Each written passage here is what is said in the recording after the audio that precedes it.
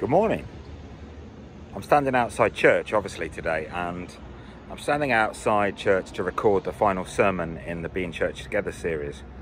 I need to be honest right now, I feel quite nervous. i am standing outside for a specific reason. I want to step out in faith this morning as we come to look at Paul's final words in his first letter to the Corinthians. So, what we're going to do is we're going to focus on verses 13 and 14 of this final section. And as you can see, I'm live recording. I'm not going to edit this, I'm not going to prepare anyone.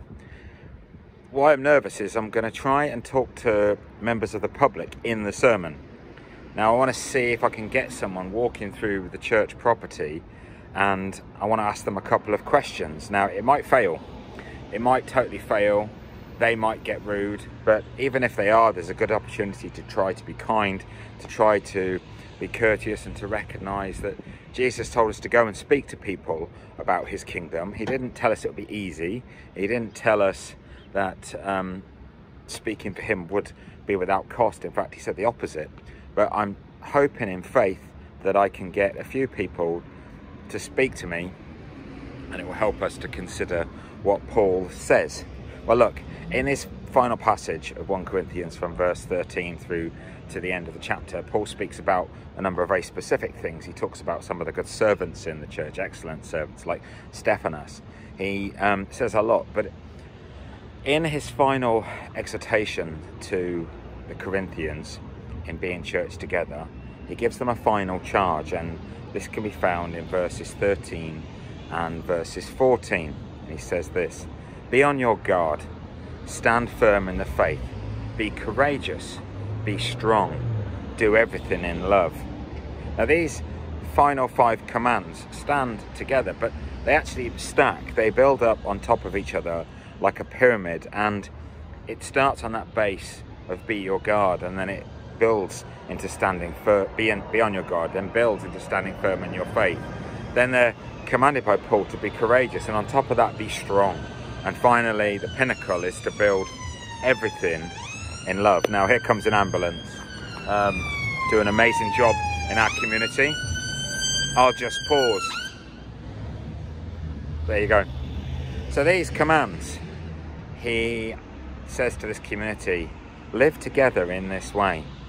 And look, it starts with being on your guard. Being on your guard is a specific expression. In fact, the Bible, in over a hundred and 30 places talks about this. It talks about the connection to this because they're not talking about guarding the gates, but it's talking about guarding your heart, guarding your heart before God. See, 130 times at least, the scripture talks about how precious our heart life with God is. One of those best known ones, Solomon wrote in Psalms 4, Psalm, sorry, Proverbs 4, he said, Guard your heart because it is the wellspring of your life. See, your heart, when it's open to the Father, when you're alive to the leading of the Holy Spirit, when your heart is full of worship for Jesus, that's where your heart shows true Christianity, shows true expression of your faith. If you ask that question, do I have authentic faith? Well, the answer is, does it come from your heart? Does your heart show your faith? Because our hearts actually do speak about the real us you know, and many of us have words, we have front, we tell the same jokes over and over, we have facades, we have bravado, we have masks. We often hide who we truly are. I've uh, been reading this week about a man who killed himself and the bravado and the faces and the, the masks that he put on and how he felt he wasn't ever able to be honest about who he was. So we have these heart, these masks that often cover up our hearts, but the Bible tells us that the heart is what's most important and it's the spring of life from which we show the world who we are. And you know, if we're a Christian, our hearts should flow forth with a Christ like way of treating others, a way of speaking about everyone. It's easy to speak about the people we like, um, it's hard to speak and show love to the people we don't know. Here's a man, let me ask him a question. Excuse me, sir, I'm doing a bit of research. I'm, I'm just telling you I'm filming. Do you walk through this church quite often? I do. Yeah. You do. Do you know anything about this church? Not really. Not really. I just, just so I can see you're a real man. Thank you, sir. Have a lovely day. So you don't really know anything about this church. That's very helpful. There you go. My heart's beating. That was hard work. Not because it lasted long, but because you're nervous about speaking to people when you don't know them. It was very kind of him, and he wasn't rude in any way. So he walks through our grounds all the time, regularly. Doesn't really know anything about our church. We'll come back back to that later. So after after this, we're told about guarding, guarding, be on your guard, guard your heart. We're then told to stand firm in our faith. Now we can grasp the meaning of this, perhaps in terms of buckling up, putting our back into our faith, gritting our teeth and recognizing that a lot of life is a tough battle. And in this tough battle, we, we need to try to be solid and to walk unshakably. But how do we do that? What enables us to stand firm? Well, Paul's been speaking to the Corinthians about it the whole way through, and Paul's been speaking to us, if we're listening, the whole way through. Standing firm in the faith is about being together, about being knit into his body, into the church, being immersed in the gospel of Jesus Christ and the Word of God. He's come and gone, he's retired now, but I was thinking about Usain Bolt I was thinking about that moment where he breaks the world record and it just goes inconceivably fast. It seems almost impossible. And we watch that brilliance and we see his swagger and we enjoy the pleasure of someone at their best. What makes him so? Well, as much as some people might just say it's genetics, it's actually not. Yes, of course he has good genes, but what's made him that best runner that we've ever seen to date was practice thousands and thousands of hours of practice. It's a matter of the fact that he stood firm in his belief that he would do everything he could to cross that line to be the best. He had the right mindset, open and willing to learn. He had the right attitude, ready to strive and try and be the best. He wanted to do everything. Well, how do we stand firm in the faith if we don't see ourselves as people willing to have that same mindset for Christ? See, the scriptures the Spirit, the community of faith. These are all things that are given to us by God to wrap us together on the solid rock of Jesus Christ. Now, there's some more people coming. Excuse me, could I ask you a question? I'm just filming uh, a simple questionnaire. Do you walk through here quite often? Yeah. yeah. Do you stop recording? Um, you don't.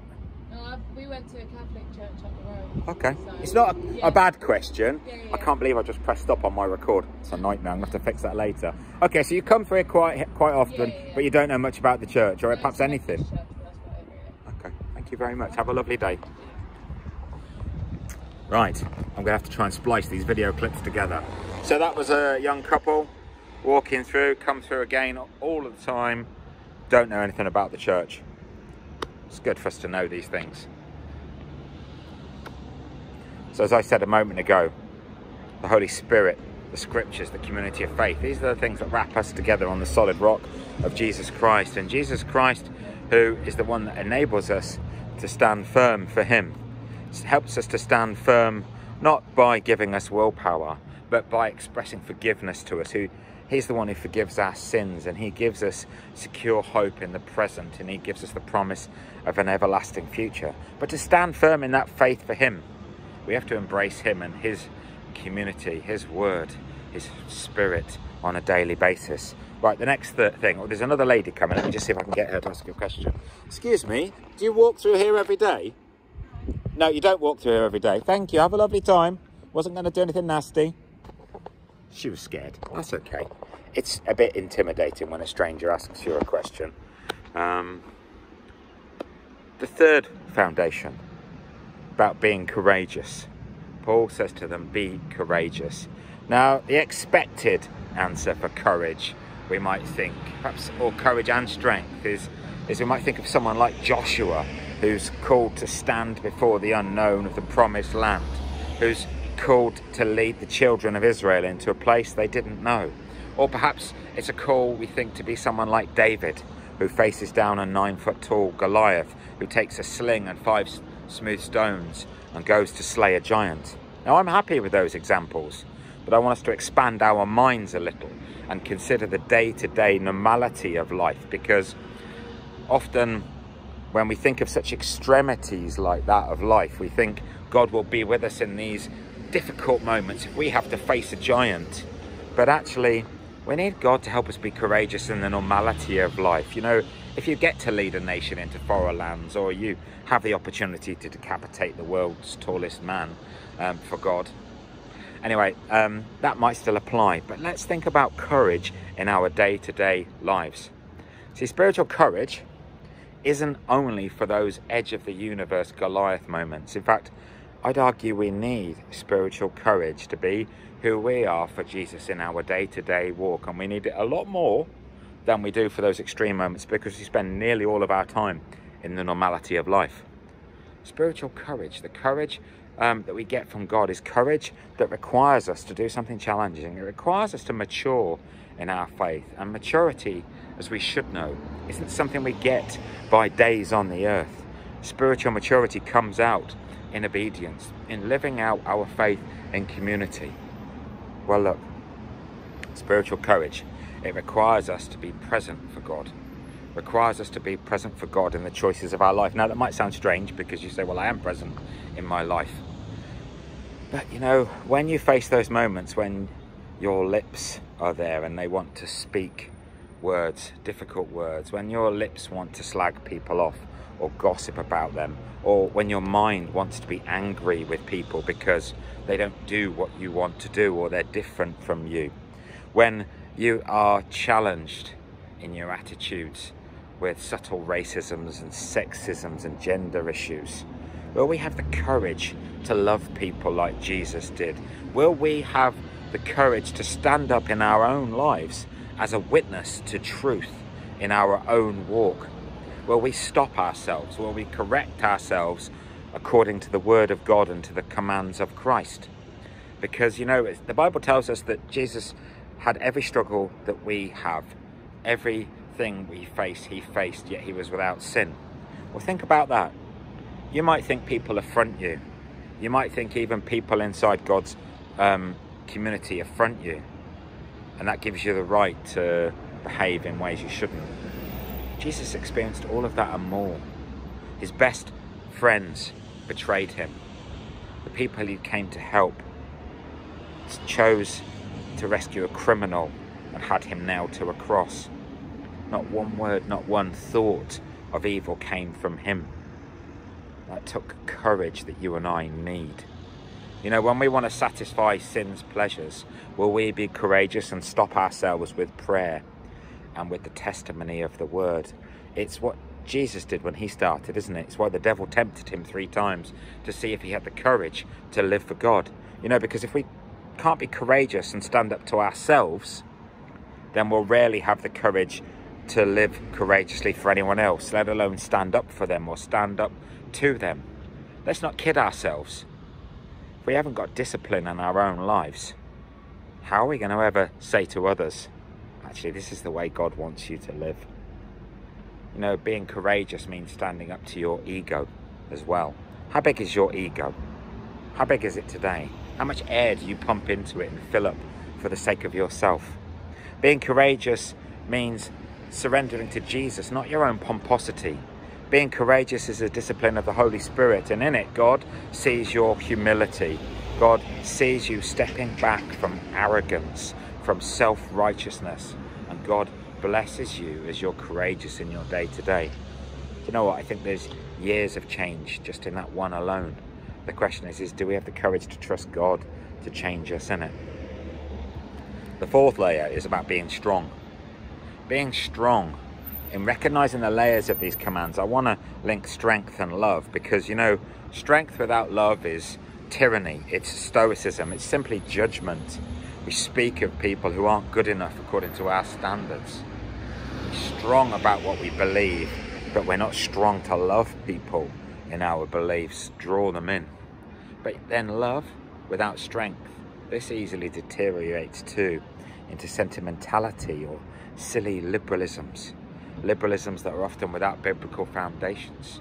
So we have to be strong in the Lord, trusting in Jesus to turn the other cheek, to walk for Him in those challenging moments. And the final command, the, the top of this pinnacle from Paul, is do everything in love. This command simply um, isn't about our actions, but doing everything in love encompasses our thoughts too. We're called to love everyone, and I mean everyone. So this is top tier living for Jesus right here, and it's a it's a massive struggle for us, uh, an incredible challenge to do everything in love. We want to see some people get what they deserve, some people who affront us, who live certain ways. We want to judge people ourselves based on their identity, their faith, their sexuality, and yet do everything in love, Jesus said. Now look, there's one more person that's coming through. Excuse me, sir, could I ask you a question? Do you walk through here all the time? Um, Well, quite often. yeah. Do you know anything about the church? Yeah. What do you know? Sorry, I'm, I'm, I'm just recording something here. Um, anything? Do you know anything useful? Just doing some research. What do you know about the church? The in general? This one. Um, I know about its coffee morning. Okay. sort of like, yeah, bits and pieces. Yeah, yeah. Do you come to the coffee morning sometimes? No. You should do. It's good. I mean, I don't run it, but it's good. No, no, I mean, yeah, I know, I know people Yeah, yeah, that yeah. come here and You know it. people that come. Yes, yes. Thank you very much. Right. You have a lovely day. Thank you. Thanks. Cuppa and Company. Cuppa and Company on Wednesday, doing good things. Where's the other Cuppa and Companies? Where's the one on a Tuesday or a Monday? Simon's doing such a fabulous work. Where's the other Simons? You know what? We've talked about training some people to run Cuppa and Company. If you want training so you can do what Simon does, where he puts the kettle on and is hospit- hospitable to people, then come forward. Let's get you trained so that more people can kind of testify that that man did. Look, we're concluding this sermon, concluding this whole book, and I'm going to get a bit of help from an Anglican. Um, so I'm not converting um, like Anglicans, but um, it's an Anglican preacher from a long ago called Herman, and there's you can tell it's from a long ago because we don't know that many Hermans. Herman Melville. Herman Melville said this: "Ye live not for yourselves." You cannot live for yourselves because a thousand fibers connect you with your fellow man. And along those fibers, as sympathetic threads, run your actions as causes and return to you as effects. Hope I haven't melted your brain. A thousand fibers connect you with your fellow men. Now, he wrote that in 1855, and Melville understood how well God has weaved his people into his world and how God has placed us alongside a world of not yet Christians. So we're connected to people, what Melville calls through sympathetic threads. We're connected to those who don't yet know God. And I'd argue that what he's expressing is a work of the Holy Spirit connecting us, letting us share the life that God gives us. And that means what we share, what we show is received, and the response of that ripples back to us. Now, that mechanism is part of how God shares his love with the world through you, through me. The hardest part of this, the hardest part is perhaps not what you might think. You might think the hardest part is finding those connections. Some of us perhaps don't know many people outside the church, and that does need to change. We need to be connected out into the world. But the hardest part is not live finding those connections and living out our faith day by day. It's not sculpting those connections because that's what God has done. And if we trust God, God will do that. The hardest part in those connections is being surrendered to God. See, when we surrender to God, we share in the promise from Isaiah 41, verse 10, where God says this Fear not, for I am with you. Be not dismayed, for I am your God.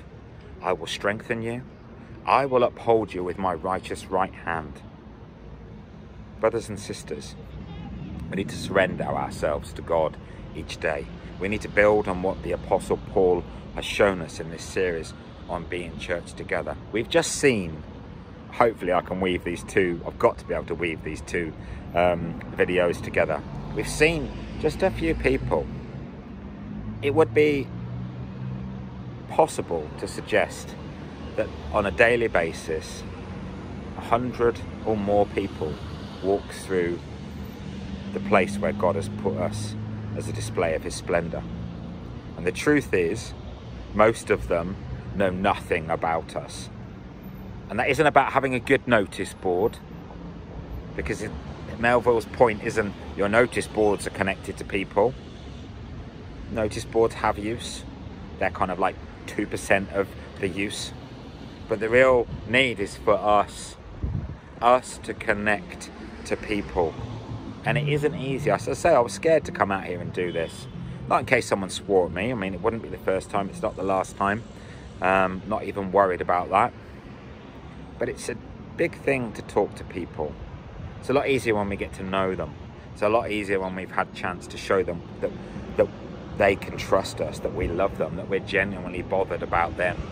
Not just so we can say Jesus loves you, but so they know that we love them and that we really mean what we say because our world has got so many lonely people in it. Our world has never been more broken and isolated and disconnected. People have Teslas and technology and all of these things. But people are lonely. They need friends. They need God's people. We don't need to worry about how those connections are made, but we do, as I said at the end there. We need to surrender. Surrender ourselves to the living God. Because we can't do all this in our strength, but we will do it in His strength, the mighty strength of God. So, as this series comes to a conclusion, let's ask God, how do we connect to our world? How do we surrender to you? What do we need to do for you to be significant in our community, with our neighbours, to these people? What do we do, need to do, God, so that when people walk through this area, they go, that's Morden Park Baptist Church. I know those people. These are the ways they love us. These are the way they've helped me. These are the ways they're doing stuff positive for our community. God bless you. Thank you, James, for leading. Thank you um, for bringing that worship into this time. And I just pray God's blessing on us as we trust and work out our faith in Him. Amen.